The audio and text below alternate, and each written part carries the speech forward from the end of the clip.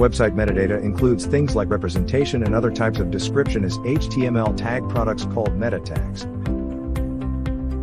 Web crawlers and search engines use these meta tags to aid in indexing and provide relevant and valuable information in their query items. How you can analyze meta tags? Go to https colon slash slash toolsbliss.com slash meta tags analyzer.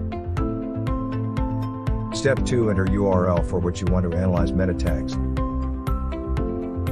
It shows the results in a matter of seconds, including the page title, the page description, and the keywords. Please share, like, and subscribe.